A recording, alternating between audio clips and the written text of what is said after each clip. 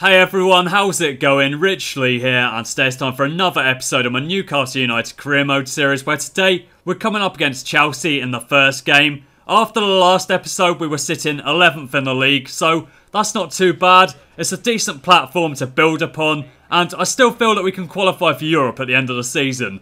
Obviously, this game against Chelsea should be a pretty tough one though. They've got arguably the strongest team in the division. They're a very good team and they will definitely cause us problems. But at the start of the game, they nearly gifted us a goal there, but we couldn't quite take it. And into the second half, they are passing the ball around absolutely beautifully here. Look at the way that they're moving it around. It's so fluid. And this should have resulted in a goal at the end of it. But we pulled off a good save there. And basically, that was the only time they attacked us all game. It's a nil-nil draw. So then, that first game against Chelsea was pretty terrible. We're coming up against Manchester City now, though, and they've replaced Aguero with Muller. So not a bad bit of business there. I personally would have kept Aguero, but in FIFA career mode, they pretty much always sell him. So the fact they've replaced him with Muller isn't too bad at all. We've got a pretty strong starting 11 as well. Remy doesn't start today though, he's on the bench, lacking match fitness, so Perez gets a start here. We win the ball off them there, and we've got a chance to attack them here. Tiote is on the ball, he plays that out wide for Aarons. What's he going to do? Plays that up top for Perez, and Perez has got a chance to score here. Can he take it? He goes around the City defence. He's only got to finesse it now, but it gets blocked off and we don't score. We've got another chance here now, though. Aarons is running through, gets taken down in the box. We pick up a penalty. Wijnaldum steps up, converts it, and we've got a 1-0 lead here. Scoring against Manchester City just seemed to make them angry though, and they really attacked us here. They get the ball to Bony, and that's in the back of net. It's the equaliser, a very powerful strike there from Bony. Keeper had absolutely no chance there. And unfortunately, Man City are right back in the game. We've got another chance here though. Perez is running forward. He sees Aarons making the run. Can we get another goal here with Rolando Aarons? Yes, we can. Aarons has smashed that into the back of the net with his left foot. And we've picked up a lead again. So I'm absolutely delighted with that. Quality finish from him. He was responsible for the first goal, going down in the box to win the penalty. This time, he scored the goal, and he's given us the lead again.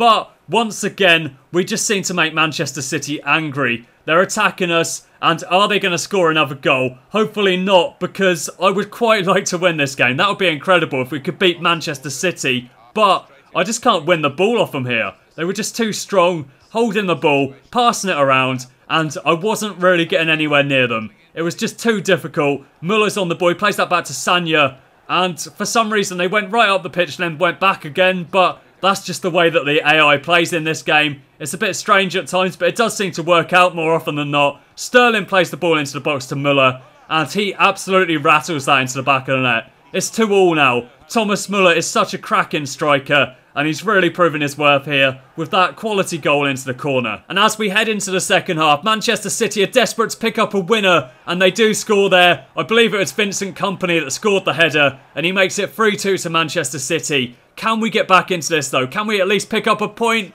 That one goes wide, and unfortunately, we lose the game 3-2. Next up then, we're coming up against Norwich, and despite being defeated in that last game, I was feeling very positive going into this game. There are a lot of things that we did well against Manchester City. Ultimately, they were just too strong for us, but against Norwich, I feel that we can pick up a win. They're nowhere near the quality of Manchester City. If you look at their starting 11, I feel we can beat them. And therefore, going into this game, I felt that we were going to pick up a massive victory. Here you can see we're taking a free kick with Wijnaldum, but that one goes wide. And now we've got another chance here. Tiote plays it through to Wijnaldum, but that one's saved by the keeper. And unfortunately, not a lot else happened in that game. It's another nil-nil draw. And for the final game of the episode, this is where things get incredibly serious. We've not picked up a single win all episode, but now we've got the Tyne Wear derby, and I need a massive win here. I need to beat Sunderland. I can't let them defeat us. In reality, Sunderland beat Newcastle 3-0.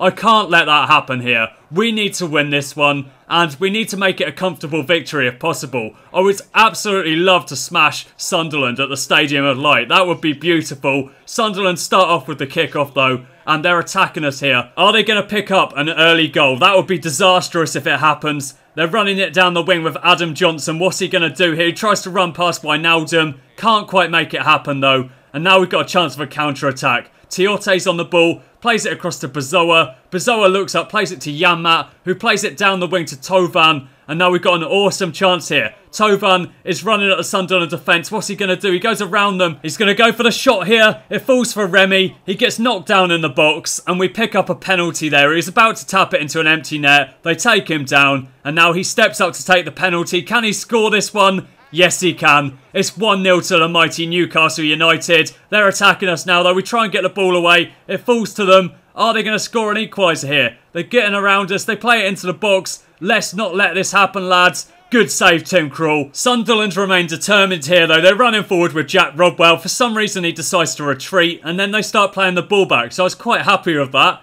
If they're just going to play the ball backwards, that's fine by me. But they go forwards again now, and I can't get the right player onto him, and he scores that one. The player switching just wasn't working out for me. It didn't switch to the right player, and they make it 1-0. Into the second half now, though, we've got Tiote on the ball. He plays that forward to Aarons. He turns back with it, gets tackled by the Sunderland player. Bazoa is trying to win the ball off them here. What are they going to do? They play it back to the keeper, and that's an own goal. What is Pantilimon doing? He just gets stuck on the post there and starts running at his own goal. That was a massive screw-up.